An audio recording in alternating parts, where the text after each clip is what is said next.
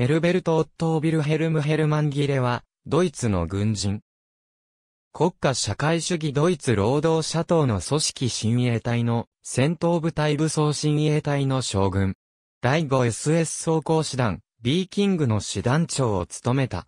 最終階級は、親衛隊大将及び、武装親衛隊大将。ドイツ帝国領法ブラウンシバイク公国のガンデルスハイムに、工場経営者、ハインリヒギレの息子として生まれた。ブラウンシュバイクのギムナジウムに通っていた1909年に、ベンスベルクにある、プロイセン王国軍の士官学校へ入学した。さらに1914年には、ベルリンのダイリヒターフェルデにあったプロイセン王国、高級4年士官学校に移籍した。第一次世界大戦が開戦した後の1914年8月に、バーデン対抗国軍の野戦砲兵連隊に、士官候補生として配属され、1915年1月に、少尉に昇進した。一級鉄十字章と二級鉄十字章を受章した。第一次世界大戦敗戦後の1919年3月に、軍を除隊。以降は1929年まで各地の農場で土地管理人の仕事をするようになった。この間の1922年から1926年にかけては鉄カブト団に参加した。1929年から1933年にかけてはブラウンシュバイクで自動車企業のビジネスマンをしていた。1931年5月1日に国家社会主義ドイツ労働者党に入党し、12月に親衛隊に入隊した。1933年4月20日には親衛隊少尉となり、1934年5月29日に武装親衛隊の前進親衛隊特務部隊に転属となる。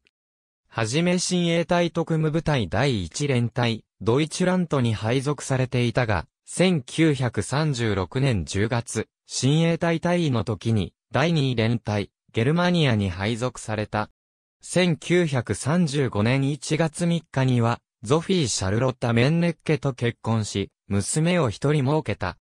第二次世界大戦の前夜には、親衛隊少佐となっており、第二次世界大戦開戦後のポーランド戦争や西部戦線には、ゲルマニア霊下の第一砲兵大隊の隊長として出征した。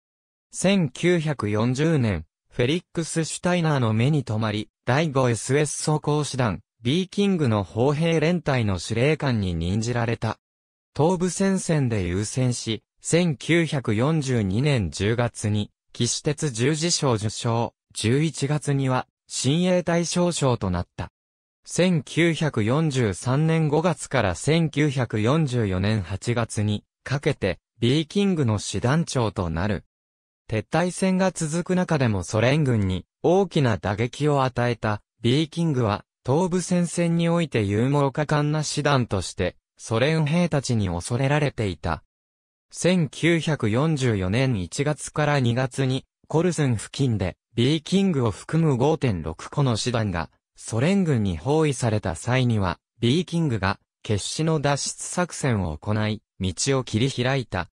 1944年4月に、騎士鉄十字章のダイヤモンド賞を受賞。同賞は27名の軍人にしか授与されていない勲章である。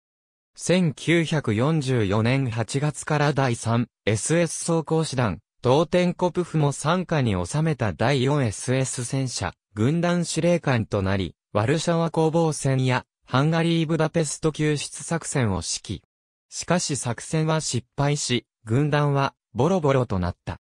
この後春の目覚め作戦にも参加したが、もうほとんど戦力を残していなかったので大きな活躍はなかった。この後、ギレは捕虜に非人道的な取り扱いをするソ連赤軍から逃れてアメリカ軍の捕虜にしてもらうことを考え、軍団をオーストリア国境を越えさせる。5月にギレと軍団はオーストリアでアメリカ軍の捕虜になることに成功している。ギレはこの後、3年間にわたってアメリカ軍に交流されていたが、1948年5月に釈放された。その後は西ドイツの新聞社で働きながら本屋を営業して生計を立てるようになった。また、退役軍人向けの雑誌、ウィーキングルフの編集にも携わった。1966年に心筋梗塞により、ニーダーザク選手のシュテムで死去した。